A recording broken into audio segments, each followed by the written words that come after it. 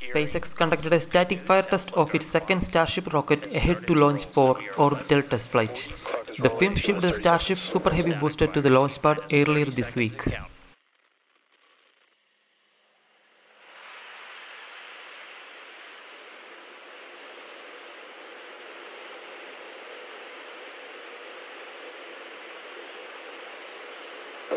T minus 10.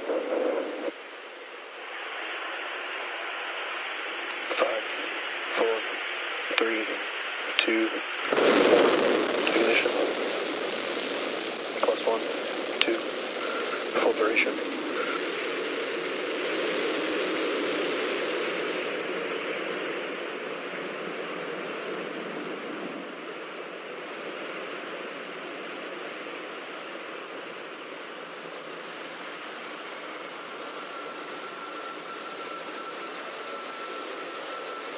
Booster nine static fire complete.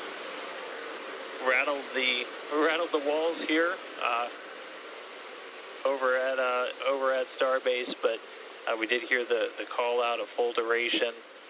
At this point, uh, the teams can start going through the data, look at uh, how many engines fired, how all the tanks behaved, everything. But uh, great to see Booster 9 lighting up down here in South Texas once again.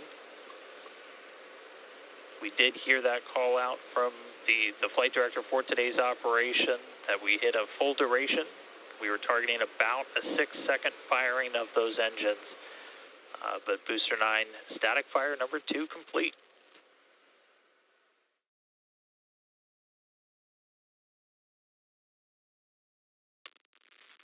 All right. Well, as I said, now's the time when we can uh, essentially start to safe the vehicle. We'll start to offload the prop, and then the teams can get right into looking at the data uh, and see how that static fire went. We heard full duration.